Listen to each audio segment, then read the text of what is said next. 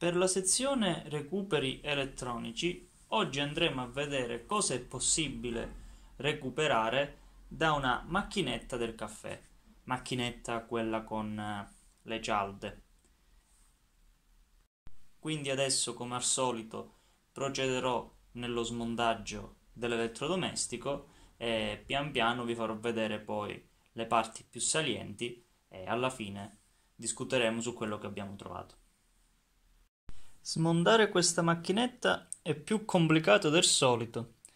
Difatti questo tipo di elettrodomestici segue una sequenza di smontaggio e solo chi la sa riesce ad aprirli correttamente.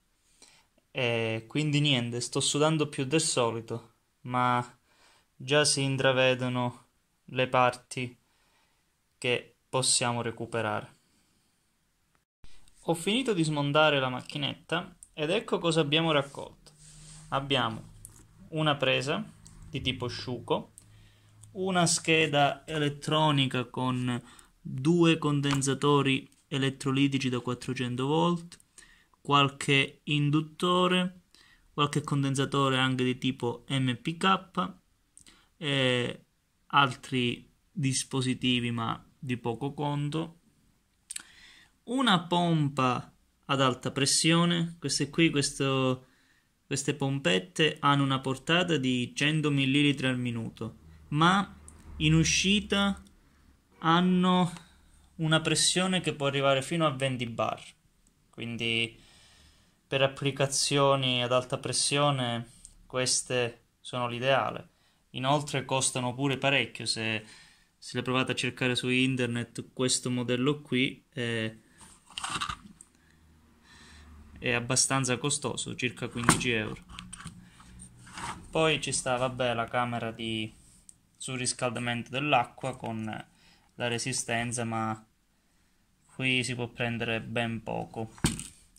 E poi ho recuperato qualche altro oggettino che mi può servire per qualche mio progetto. Questa è una maniglia in acciaio.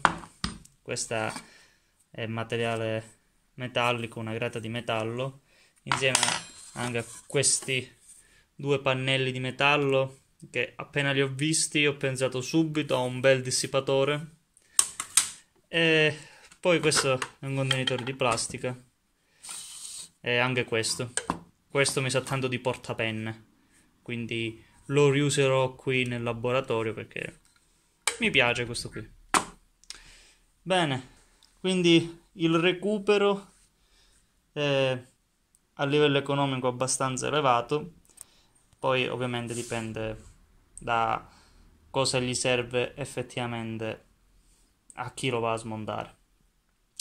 Molto bene, per questo video è tutto, alla prossima!